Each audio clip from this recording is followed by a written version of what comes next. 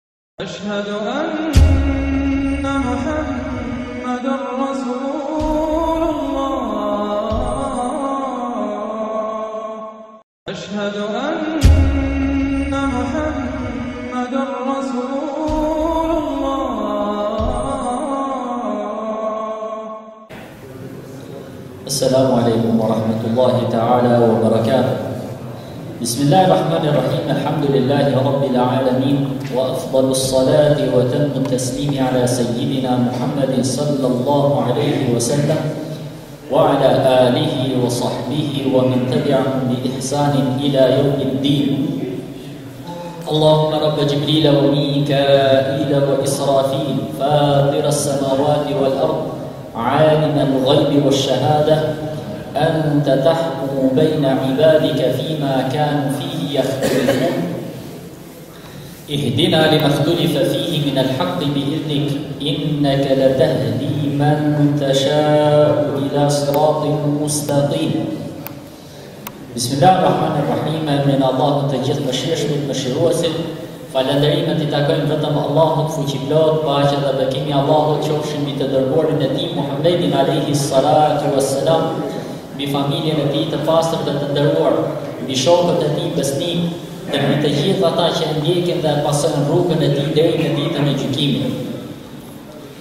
Vëllezër të dashur,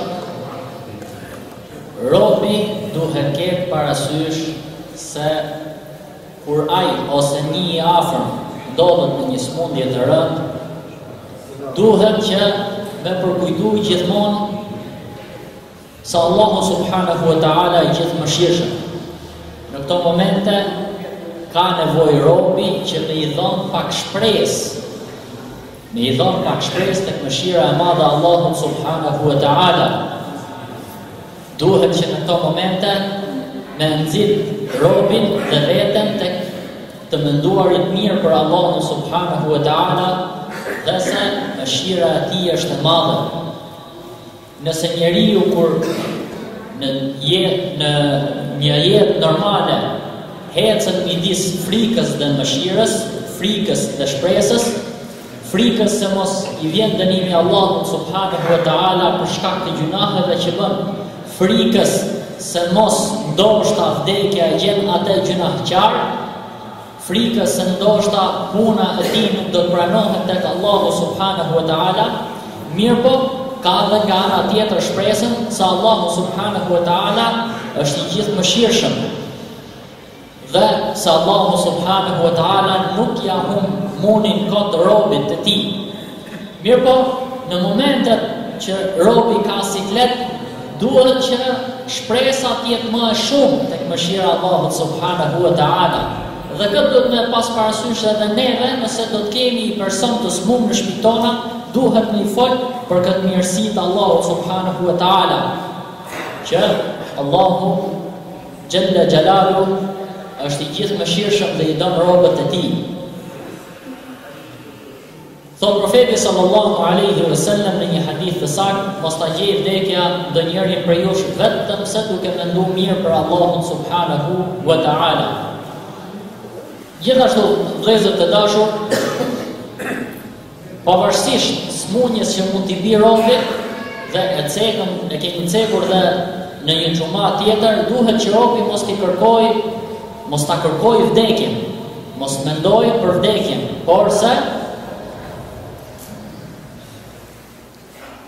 që t'i lutet Allahut subhanahu wa ta'ala, o Zot, ma jep mu vdekjen nëse ajo është më e mirë dhe më jep mu jetë nëse jeta është më e mirë për mu. Dhe jo për shkak të sikletit që i ka ra t'i kërkojë Allahut subhanahu wa ta'ala që o Zot ma merr shpirtin. Se robi nganjëherë nihet në siklet për shkak të smundjes që ka edhe thot ah sikur të kisha vdek mirëpo robi kur vdes i mbyllën punët atij, mbyllen regjistrat. Ndoshta robi një një ditë më shumë mund të bëjë disa punë të mira prej të cilave mund të përfitojë edhe xhenetin e Allahut subhanahu wa taala. Gjithashtu vëllezër duhet që Me rikujtu robi nëse i ka hy nanjonit në hak, duhet që me mendu robi nëse i ka bo zullum nanjonit. Sepse, po dole nga kjo dynja, atëherë ndryshon puna. Përderisa je n'dynja, ka thonë i dashmi jonë sallallahu alai sallam, kërkojini hallallëkun njëni-tjetrit, Nëse i keni hyrë në hak përpara se vjen një ditë që nuk ka më kompensim, domethonë nuk ke ku t'ia kërkosh më hallallëkun atje, nuk ke ku ta blesh atë dëmin që i ke bërë tjetrit me lek. Porse atje ka mënyrë tjetër larje.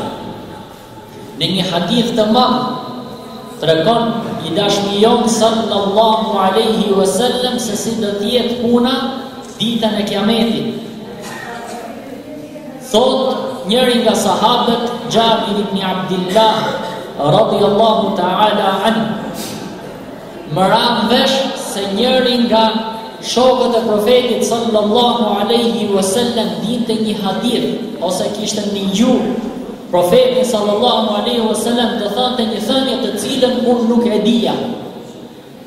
Dhe blen një deve dhe thot vuna plaçkat e rrugës aty dhe u nisa për tek ai. U nisa për tek ai. Dhe m'u desh më mori kohë një muj me arrit te ky sahabiu i nderuar. Dhe kush ishte ky sahabiu i nderuar? Ky ishte Abdullah ibn Unais. Abdullah ibn Unais. Pra, shife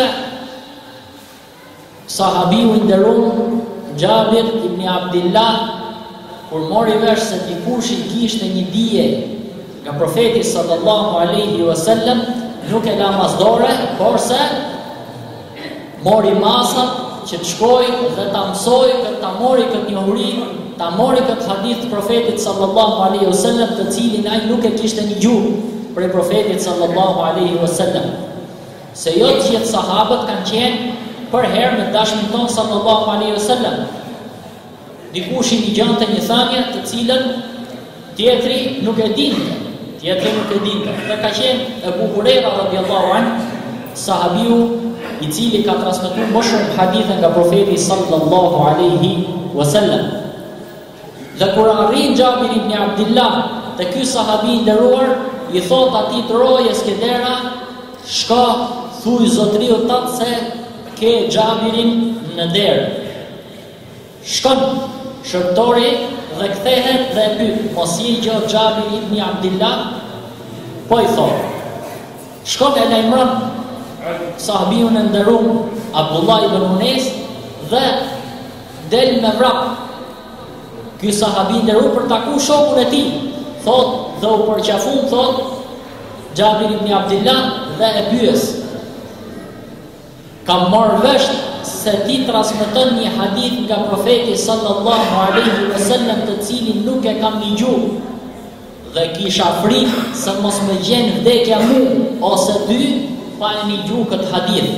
Pra kishte frikë se mos i hikte dija, mos i hikte dija.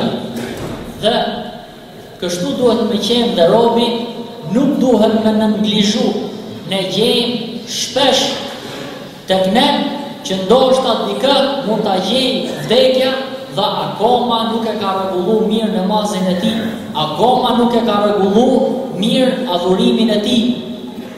Porse rrin e bredh sa anej knej dhe nuk ulet me lexu dy fjalë, nuk ulet me mësu dy fjalë.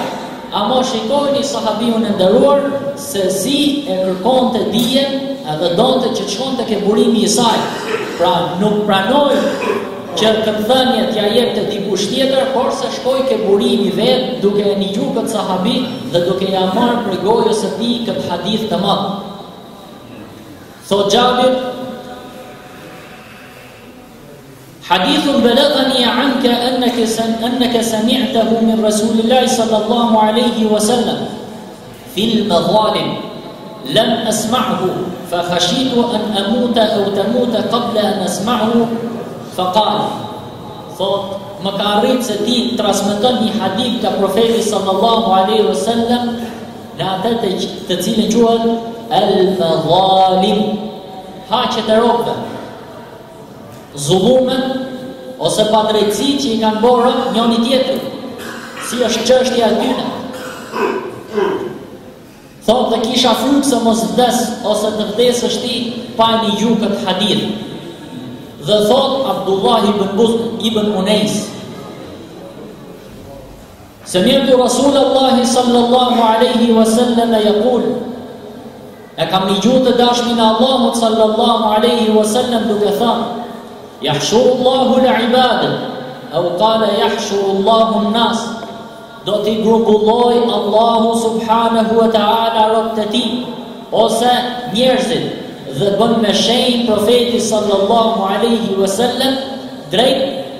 zonës së Shamit. Zona e Shamit është ajo zonë që kap shtetet Jordanisë, Sirisë, Libani dhe Palestina e pushtume.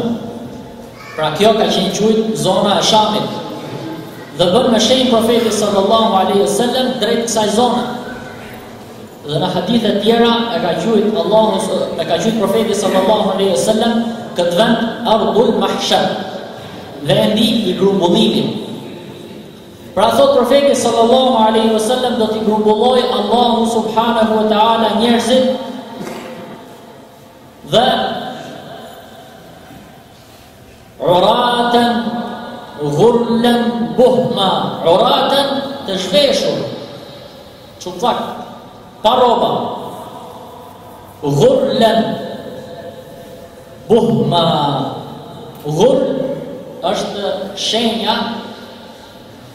Ajo bardhësia e kalit që ka ke balli, ose ke, ke komët.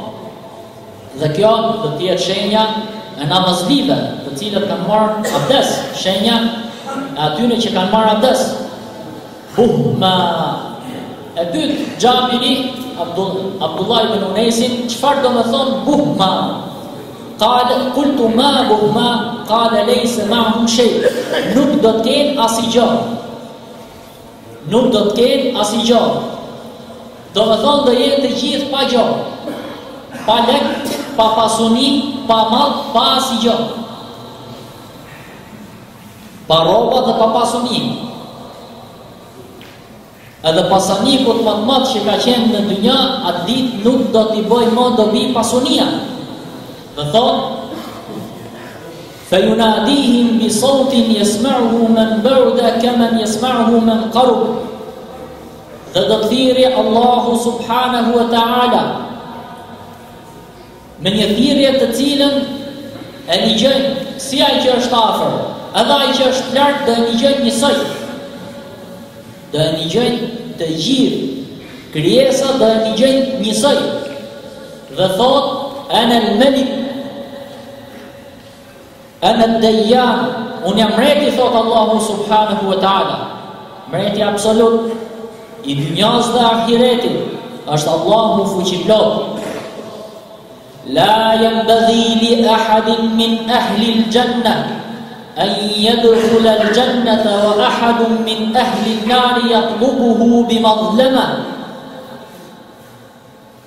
Kurrsesi nuk ka mundësi të futet një banor i Xhenetit në Xhenet dhe njëri nga banorët e zjarrit të Xhehenemit e kërkon për një hak, për një zullum që ia ka bo ky. Pra, do të ndalohen njerëzit, s'ka për t'u fut xhenetliu në xhenet derisa t'i japi hakun atij robit tjetër, i cili e ka morrë rrugën për xhehenem. Mirëpo kjo nuk e ndalon atë xhehenemliun me ardhë me i morrë hakun këtij myslimanit, këtij që do të futet në xhennet. Hadith i madh vëllazër. Dhe sikurse thot profeti sallallahu aleyhi wa sallam, i thot Muadhit aleyhi, i thot Muadhit radiallahu an, kur e dërgon në, në Jemen, i thot ti je duke shku ke një popull ehli kitab ithtarë të librit, Prandaj le të jetë thirrja jote e parë që të besojnë në Allahun subhanahu wa ta'ala dhe se unë jam i dërguar i Allahut dhe në qoftë se ata binden, mësoj atyre se Allahu ka bo obligim namazin, Ramazanin dhe dhënien e zekatit, i cili merret ka pasanikat dhe kthehet tek fugaret. Dhe ki kujdes prej duas, lutjes të atij që i bohet zullum,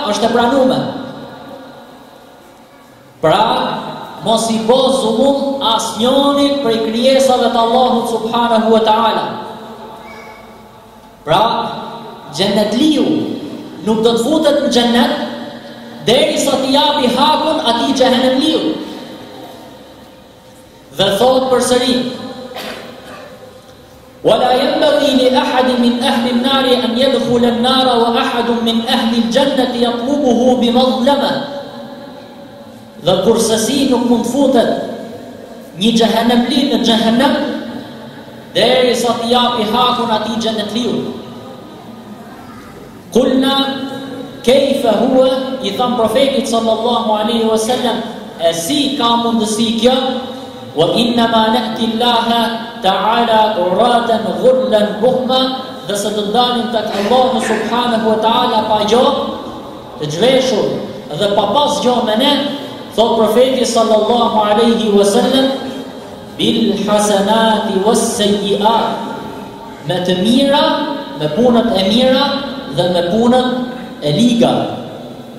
Pra larja e haqeve, ditën e kiametit, do të jetë me punët e mira dhe me punët e këqija, Nuk do të ketë mo me çar me u la, s'ka, nuk blehe. Nuk ke mundësi me pagu, nuk ke mundësi me dëmshpërbly. Prandaj, robi duhet të reflektojë dhe sidomos nëse është në një smundje të rëndë, duhet të reflektojë dhe ta dijë se kujt i ka hy në hak, se në qoftë se ai vde Vdes dhe dikush i ka hak për të marrë ke ky ditën e kiametit do ta marrë me sevape e nëse i marojnë sevapet e atij do të marrë prej gjynaheve të atij tjetrit pra larja e punëve ditën e kiametit do të bëhet me sevape dhe me gjynahe Prandaj duhet robi me pas kujdes. Gjithashtu vëllezër të dashur, duhet që robi të bojë tobe shpesh. T'i kërkojë falje Allahut subhanahu wa taala shpesh dhe sidomos kur gjendet Në këto momente, që ai ka një smundje të rëndë, edhe me përkujtu robin, se vllezër të dashur, çdo bir i Ademit, është gjynahqar, dhe gjynahqari më i mirë, është ai i cili kërkon tobe dhe kërkon falje tek Allahu subhanahu wa ta'ala. Gjithashtu vëllezër duhet që me sa të ketë mundësi t'i shtojë punët e mira, si përmendja e Allahut subhanahu wa taala me bo dhikr të shumtë, me lexu Kur'an ose me nigju atë, Pra me përmend, me sa ka mundësi, me bo punë të mira në këto çaste. Edhe duke e lutur Allahun subhanahu wa taala se nëse atë e gjen vdekja, ta gjejë me një punë të mirë. Vllezër të dashur, nuk duhet të harrojë edhe robi kur është i smut, se namazin e ka farz. Nuk është të thënë nëse i ra smundja s'ka mundësi me lëviz dhe nuk duhet ta falë namazin.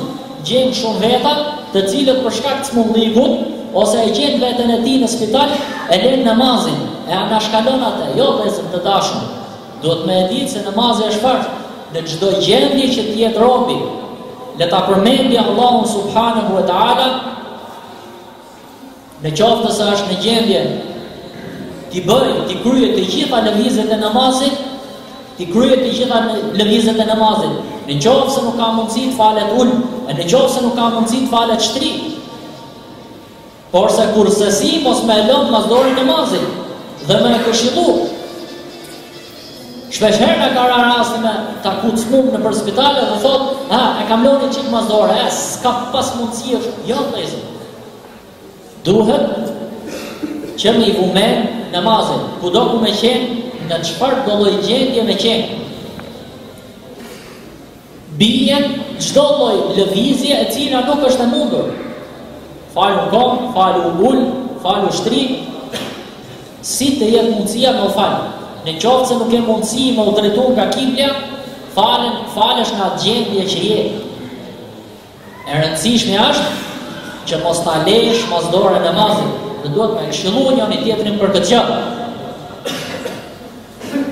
Gjithashtu vëllezër të dashur duhet me pas parasysh se namazi nuk vjen pa marrë abdes. Pra të ketë kujdes, mundohet, e sa ka mundësi, pastrohet. Të pastrohet nga nevojat personale dhe të marri abdes aq sa është mundësia. Nëse nuk ka mundësi me marrë abdes vetë, atëherë le t'i thotë fëmijëve që t'i japin atij abdes. Do të thotë fëmijët t'ia lajnë gjymtyrët e abdesit. E nëse as kjo nuk është e mundur, atëherë falet në këtë gjendje që është Atëherë falet në këtë gjendje që është. Pse? Sepse përderisa nuk është mundësia, nuk pranon kush që me ardh me i dhonë abdes, atëherë falet në atë gjendje. Po po, e njëjta gjë edhe punën e tejemumit, nëse ka mundësi me mor tejemum, po të marri tejemum. Allahu ta shpërbleftë të bëbet. Pra, nëse nuk ka mundësi me marrë abdes, atëherë le të marrë tejemum. Brenda mundësive, e nëse as këtë nuk ka mundësi, sikurse me qenë ai person i paralizuar dhe nuk ka mundësi me marrë tejemum, as nuk ka kush me i dhon abdes ose tejemum, atëherë falet robi në atë gjendje që është. Mirëpo kursesi nuk e len namazin. Kursesi nuk e len namazin. Mundohet robi me e mbajt pastër sa të jetë mundësia vendin poshtë, sidomos kur është në çështje domethënë kur është në spital. Mundohet sa më shumë me mbajt me mbajt pastër vendin. Domethënë atë vendin ku do të falet ose krevatin ku ai rrin. Nëse Për shkak të smundjes mund të jetë bërë pis me diçka nga ato që dalin nga njeriu, atëherë të mundohet me ndru në kohën e namazit. E nëse edhe kjo nuk është e mundur, atëherë falet në atë gjendje që është. Pra vllezën të dashun, edhe ke lëvizjet e namazit, sipas gjendjes që është, Edhe tek marrja e abdesit sipas gjendjeve dhe kushteve që ka mundësi me bë, edhe tek vendi tek pastërtia sipas mundësive që ai mund të ketë. Pra robi nuk e vë veten në siklet dhe nuk shtrëngohet dhe kursesi nuk e len namazin e tij, dhe kursesi nuk e len namazin e tij.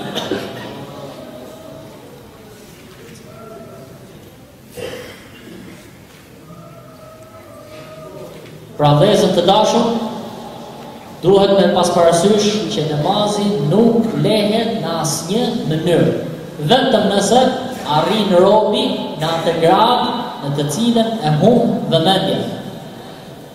Ke prej njerëzve që për shkak të smundjes e humb vëmendjen, i ikën truni derisa mund të arrijë në atë gradë që nuk i njeh njerëzit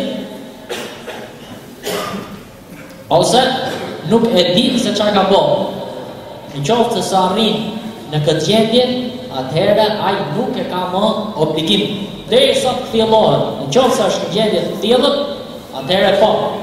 Ama në qoftë se Ai nuk është në këtë gjendje, atëherë për te bien namazi, atëherë për te bien namazi dhe nuk e ka obligim me e fal në këtë gjendje që është, në këtë gjendje që është. E lusim Allahu subhanahu wa taala që neve të na falë dhe të na mëshirojë. E lusim Allahu subhanahu wa taala që çdo sprovë e cila i bjen bijve të Ademit